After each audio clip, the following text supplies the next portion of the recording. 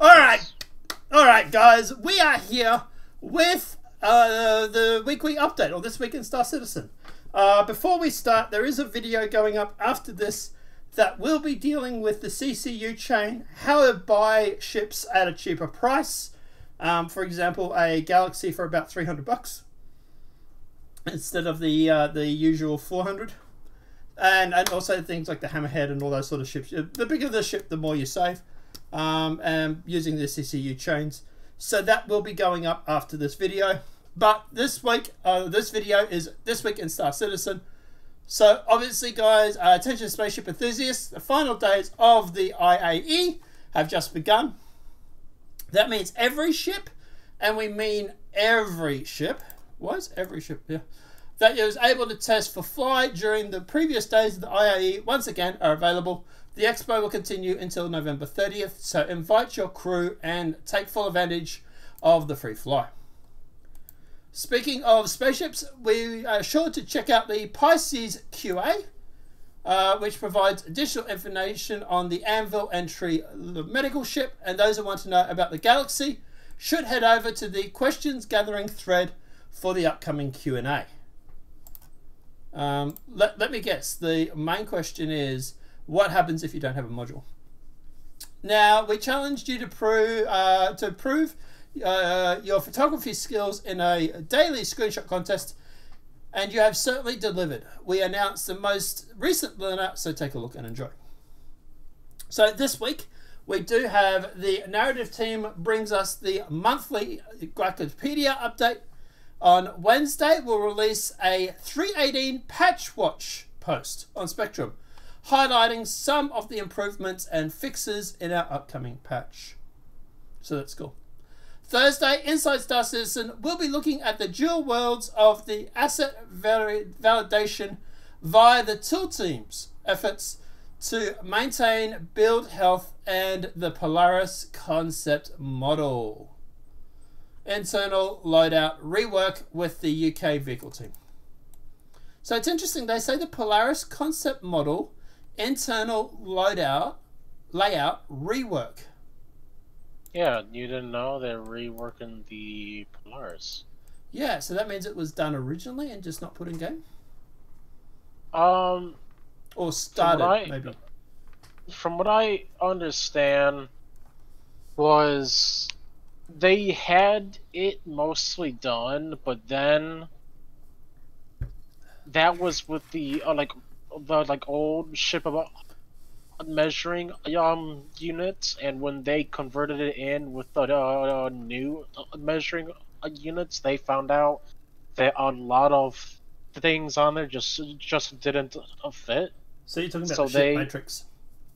Yeah, the ship of matrix. Um, yep. sorry, it's going like four fifteen in the uh, morning, so our words don't work well. So yeah, that, um, that's all right. I, yeah, I, last time I tried to do a, a video recording at four a.m. in the morning, I said size four was capital, so you know you get a break. Yeah, so they were going through and they were um trying to to well, fit things in, and they found out that the ship's are current size doesn't work with the internal layout, and that's also the reason why the Polaris got a bit bigger is because yeah. things just didn't fit. So I was going to say, so it sounds like the ship's gotten bigger. Um, yes, it has gotten bigger. Um, yeah. Officially, we don't don't know, but unofficially, I heard it's about uh, a third larger than the Galaxy. Okay. Well, I presume we'll find out on Thursday. And on Friday, you'll receive Hopefully. another update to the subscriber vault, and this week, RSI letter delivering you straight to the inbox. Star Citizen Live follows up with members of the Montreal Sandbox 1 team to discuss their work on Alpha 318 and more. Stay tuned or tune in at 8 a.m. Pacific. So they've been a little bit cryptic about Montreal Sandbox One. Um, I think those are the guys that do. If I if I had to take a stab in the dark, I would say they're the guys that do the things like the um, like the racetracks and, and the outposts and and that sort of stuff. Um, uh, so they do a lot of the the outposts, the colonization outposts and stuff like that. Uh, this Saturday will mark our final stop to the Bar Citizen World Tour 2022. This time, Chris and Sandy will be visiting a community organized event in Berlin. The venue has limited capacity and registration for the event is already reportedly fully booked. But we'll keep you in the mix with pictures via social media. Um, and that was done by Wayne at, uh, or Christian at um, CIG. I thought Christian left. Anyway, um, all right. So um, at the end of the day, yeah, it's um, that might be a new question because it says um, community manager. I think that's the new community manager actually. All right. Um, so at the end of the day, obviously the big things is obviously uh, Wednesday with the the patch watch, Thursday with Inside Star Citizen, and Friday is Star Citizen Live.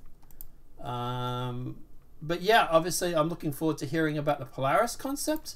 But also, to be honest, they're also talking about the tool team's efforts to maintain build health. So Hmm. I'm not sure if that. I think that is patch health. I don't think that's buildings. Um, so that'd be like Build? build health would be like bug reports and stuff. I think that sort of stuff. But One can hope. So yeah, probably wouldn't be useful for a lot of people. Um, because basically, so like when the patch goes out, like when there's a new patch, um, it'll go through and they'll say like you know like there this patch failed or this patch succeeded, and that's what they meant by build health. So I presume this is them going through, talking about um, the tool team's efforts to to make sure that the patches come out and they don't fail, which is not a yeah, it's all right. Um, but obviously, the biggest thing is the, the Polaris concept.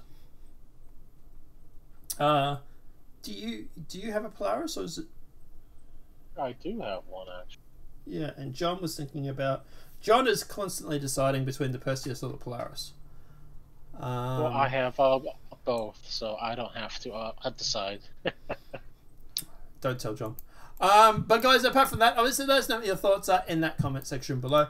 Like I say, video going up right after this, or, about an hour after this, will be the uh, yeah, about an hour after this will be the uh, the thirty minute video on CCU chaining and how to save money on buying ships. If you are interested in buying ships, I suggest you watch that tonight um, or today, and and don't leave it too late because some of the time if you you're trying to melt and and rebuy things back there is a 24 hour time limit. So do keep that in mind. Apart from that guys if you have any questions any comments feel free to post them in the description below. Big thanks to everybody over the past couple of weeks. You guys have been absolutely fantastic with the the comments and uh, and the viewing and everything like that. I like just yeah the amount of love that we got from the community is is crazy. Um, but guys have a great night. Enjoy yourselves, and we'll see you in the universe. You want to say bye, Fizz? Good morning, New York City. Have a good night, everybody. Enjoy. I think it was Good Morning Vietnam, wasn't it? Well, I was gonna say Vietnam, but I didn't want to uh, like hit any up bad notes, so uh, New York City Ed was. So uh, it was always Good Morning Vietnam. I feel good. I could Anyway. have done a Detroit. Have a good night, everybody. Enjoy.